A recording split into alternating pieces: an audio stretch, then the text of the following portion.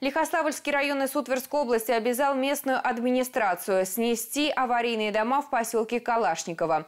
Ранее прокуратура района проводила проверку и выяснила, что в Калашниково по региональной программе переселения граждан из аварийного жилья были расселены 25 многоквартирных домов.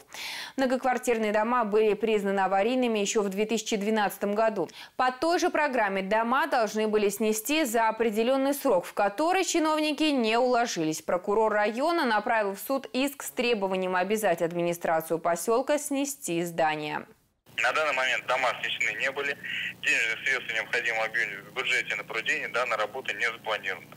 В бюджете городского поселения на 2019 год заложено денежные средства на снос только трех домов. По результатам проверки прокуратуры района в суд направлено исковое заявление об обязании администрации городского поселения поселок Калашникова осуществить снос указанных аварийных домов до 1 января 2021 года. Решение суда иск прокурора Хасанского района удовлетворен. Исполнение решения суда находится на контроле в прокуратуре района.